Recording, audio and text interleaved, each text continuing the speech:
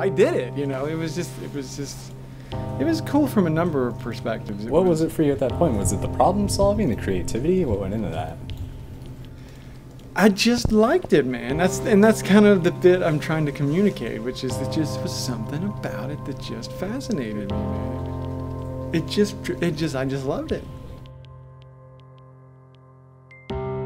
For me, engineering brings technology together to make useful products that can benefit people's lives. I've just grown up doing it. I, um, you know, probably like like many engineers, you know, watching Star Trek as a kid, seeing Scotty, you know, save the day on many occasions. Like, I want to do that.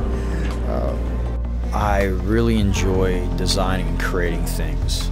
Having all of these tools available to me to create things is just uh, endless amounts of um, you know colors in your palette to you know make paintings. So why do artists? Yeah, why do artists become you know fascinated with art? You know, I suppose because of the uh, ability to express their creativity, and I don't see engineering to be any different.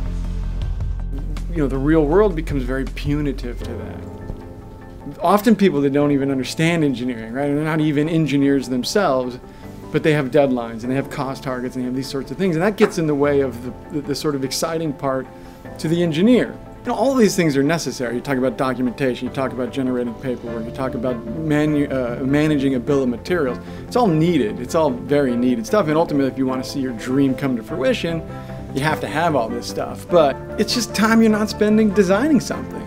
You know, how do we we limit that as much as possible? How, how do we make it to where they, they can actually enjoy that once again and put the focus really back on the exciting part, which is the creative process, that engineering, you know, that, that, that passionate, the drive to make something really cool, right? Or make something better. Would you say engineering is a way of life? It's absolutely, I think it's a lifestyle choice.